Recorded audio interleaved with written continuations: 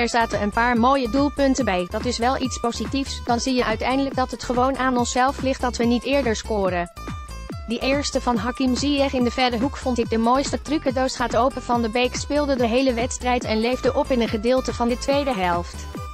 Hij gooide er meerdere trucjes uit en gaf vervolgens aan op Justin Kluivert. Ik dacht, laat ik ook eens gek doen, lacht hij. Er zaten een paar goede acties bij en een minuutje later resulteerde dat gelukkig in een assist op Justin. Op social media werd al afgevraagd of hij trucjes niet via een virtuele game had geleerd. Ik speel niet zoveel FIFA, af en toe alleen tegen mijn vrienden. Daar heb ik trucjes dus niet geleerd, maar het waren zeker functionele en mooie acties. Tegenover Cristiano Ronaldo, Lasse en Hakim Ziyech schoten er tegen Sparta allebei eentje in vanuit een vrije trap.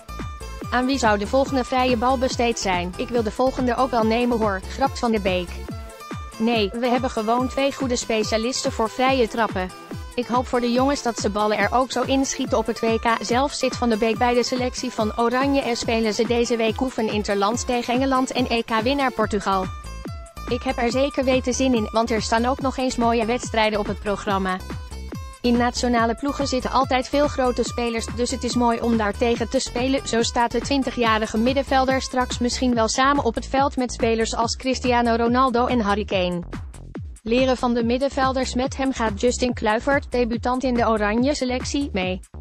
Na zijn doelpunt op het kasteel wees de veelbesproken buitenlander driftig naar het clublogo van Ajax op zijn shirt. Dat hij op zijn logo wijst bij het juichen vind ik mooi. Hij zit net als ik al sinds de jeugd bij Ajax, dus hij is ook gewoon een echte Ajaxiet. Een contractverlenging voor de rapper Kluivert lijkt een logische keuze, maar het blijft nog even afwachten. Een week oranje betekent voor Van de Beek een week leren. Je hebt altijd wel jongens uit verschillende competities waar veel van te leren is. Ik let ook wel op de middenvelders er zijn. Hoe zij trainen is bijvoorbeeld wel interessant. Wesley Sneijder was altijd zo'n speler, of hij aan spelen toe gaat komen durft hij nog niet te zeggen. Ik ben blij dat ik erbij ben, ik moet gewoon mijn best doen en dan zie ik wel waar het schip strandt besluit van de Beek.